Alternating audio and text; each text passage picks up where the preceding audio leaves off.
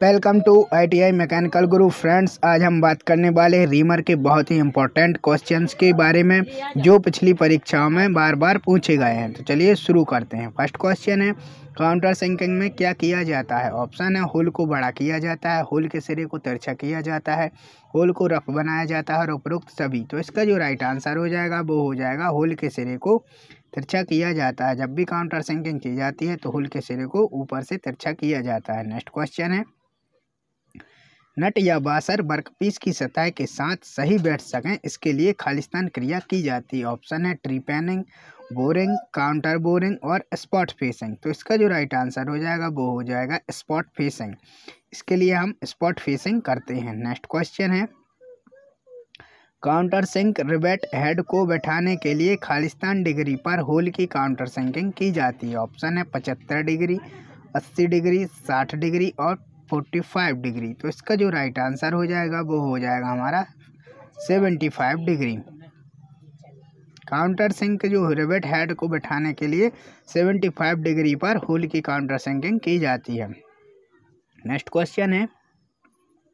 सुराख के बर्र दूर करने के लिए खालिस्तान डिग्री पर काउंटर सिंकिंग की जाती है। ऑप्शन है साठ डिग्री, एक सौ बीस डिग्री। नाइन्टी डिग्री और फोर्टी फाइव डिग्री। तो इसका जो राइट आंसर हो जाएगा, वो हो जाएगा नाइन्टी डिग्री। सुराख के जब भी बर्र को दूर किया जाता है तो नाइन्टी डिग्री पर काउंटर सिंकिंग की जाती है। नेक्स्ट क्वेश्चन है। टेप द्वारा चूड़ी काटने से पहले सुराख की चैम्परिंग खालिस्तान डिग्री पर की जाती है। ऑप्शन है seventy five degree, ninety degree, eighty degree और वन ट्वेंटी डिग्री। तो इसका जो राइट आंसर हो जाएगा, वो हो जाएगा one twenty degree. Next question है। स्पॉट फेसिंग की क्रिया खालिस्तान द्वारा की जाती है। ऑप्शन है fly cutter, drill, counter, sink drill और स्पॉट टूल। तो इसका जो राइट आंसर हो जाएगा, वो हो जाएगा फ्लाई कटर। फ्लाई कटर के द्वारा स्पॉट फेसिंग की क्रिया को हम करते हैं। नेक्स्ट क्वेश्चन है। रीमर एक कटिंग टूल है। ऑप्शन है single point cutting tool multi point cutting tool उपरोक्त दोनों और उपरोक्त में से कोई नहीं। तो इसका जो राइट आंसर हो जाएगा, वो हो जाएगा multi point cutting tool reamer जो होता है, वह मल्टी पॉइंट कटिंग टूल होता है। ऐसा ये सही हो जाएगा। नेक्स्ट क्वेश्चन है, रीमर खालिस्तान धातु का बना होता है। ऑप्शन है mild steel, high speed steel, high carbon steel और उपरोक्त बी व सी दोनों, अर्थात हाई स्पीड स्टील और हाई कार्बन स्टील। तो इसका जो राइट आंसर हो जाएगा, वो हो जाएगा उपरोक्त दोनों बी व सी, अर्थात हाई स्पीड स्टील और हाई कार्बन स्टील। रीमर दोनों के बने होते हैं। नेक्स्ट क्वेश्चन है left hand spiral flute reamer का प्रयोग खालिस्तान के लिए करते हैं। ऑप्शन है रफ कटिंग, स्मूथ फिनिशिंग, उपरोक्त दोनों और उपरोक्त कोई नहीं। तो इसका जो राइट आंसर हो जाएगा, वो हो जाएगा हमारा स्मूथ फिनिशिंग। क्योंकि लेफ़्ट हैंड जो स्पायरल फ्लूट रीमर होते हैं, उनका प्रयोग हम स्मूथ फिनिशिंग के लिए करते हैं। नेक्स्ट क्वेश्चन है राइट हैंड फ्लूट रीमर का प्रयोग खालिस्तान के लिए करते हैं। ऑप्शन है, सुराख करने के लिए, स्मूथ फिनिशिंग के लिए, रफ कटिंग के लिए और उपरोक्त कोई नहीं। तो इसका जो राइट आंसर हो जाएगा, वो हो जाएगा रफ कटिंग। अब इसको आपको ऐसे रख, ध्यान रखना है कि जो राइट हैंड रीमर होता है, वो रफ कटिंग के लिए यूज़ करते हैं। रा यानी राइट का रा आ जाएगा और रफ का रा आ जाएगा। तो राइट हैंड उसके लिए रफ का लिए और लेफ़्ट हैंड के लिए स्मूथ के लिए। नेक्स्ट क्वेश्चन है। जिन रीमर का व्यास खालिस्तान एम से अधिक होता है, उनमें हेलिकल फ्लूट्स काटे जा सकते हैं। ऑप्शन है छः दस, बारह और उन्नीस। तो इसका जो राइट आंसर हो जाएगा, वो हो जाएगा हमारा दस। दस फ्लूट्स हम काट सकते हैं। नेक्स्ट क्वेश्चन है टेपर पेन रीमर खालिस्तान टेपर से बने होते हैं। ऑप्शन है मोर्स टेपर ब्राउन एवं Sharpe taper standard pin taper और उपरोक्त सभी। तो जो रीमर होते हैं, वह स्टैंडर्ड पेन टेपर से के बने होते हैं। नेक्स्ट क्वेश्चन है।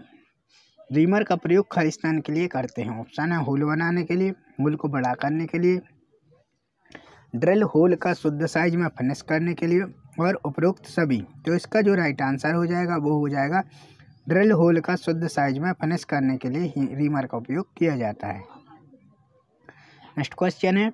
रीमर की बॉडी में फ्लूड्स होते हैं जो चैटरिंग को रोकते हैं। ऑप्शन है सम संख्या में विषम संख्या में, उपरोक्त दोनों और उपरोक्त में से कोई नहीं। तो इसका जो राइट आंसर हो जाएगा, वो हो जाएगा विषम संख्या में। रीमर की बॉडी में जो फ्लूड्स होते हैं वह विषम संख्या में होते हैं। जैसे विषम संख्या कौन सी? तीन, पाँच, सात। इस प्रकार से रीमर की बॉडी में फ्लूट्स कटे होते हैं। नेक्स्ट क्वेश्चन है फ्लूटेड रीमर का दूसरा नाम है। ऑप्शन है chucking reamer jobber reamer shell reamer और उपरोक्त सभी। तो इसका जो राइट आंसर हो जाएगा, वो हो जाएगा हमारा जॉबर रीमर जॉबर रीमर हम फ्लूटेड रीमर का दूसरा नाम बोलते हैं। नेक्स्ट क्वेश्चन है। 20 मिलीमीटर ब्यास के रीमर होर के लिए ड्रिल साइज़ खालिस्तान मिलीमीटर रखा जाता है। ऑप्शन है उन्नीस उन्नीस दशमलव पाँच, उन्नीस दशमलव छः पाँच और उन्नीस दशमलव नौ। तो ये आपको बताना है। तो इसका जो राइट आंसर हो जाएगा, वो हो जाएगा उन्नीस दशमलव छः पाँच। इसका एक सूत्र भी होता है, वो हम आपको पहले बता चुके हैं। नेक्स्ट क्वेश्चन है। बारह मिलीमीटर ब्यास के रीमर होल के लिए ड्रिल साइज़ खालिस्तान मिलीमीटर रखा जाता है। ऑप्शन है ग्यारह दशमलव सात पाँच, ग्यारह दशमलव दो, ग्यारह दशमलव चार और ग्यारह दशमलव छः पाँच। तो इसका जो राइट आंसर हो जाएगा, वो हो जाएगा ग्यारह दशमलव सात पाँच। नेक्स्ट क्वेश्चन है बोरिंग और रीमिंग में समानता है। ऑप्शन है टूल एक समान प्रयोग किए जाते हैं।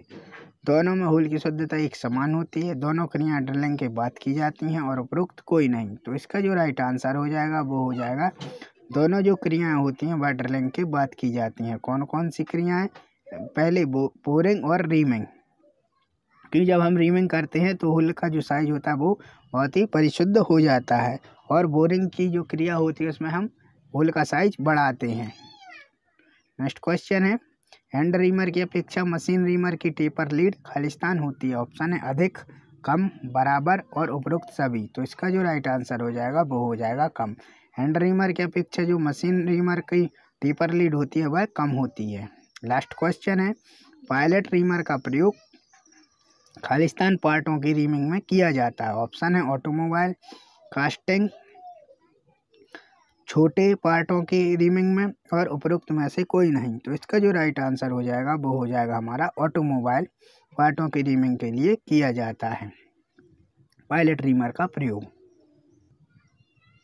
ड्रिल साइज़ का जो सूत्र होता है, वो होता है रीमर साइज़ माइनस कोष्टक में under size plus over size तो इसकी एक तालिका होती है, वो हम आपको बता देंगे।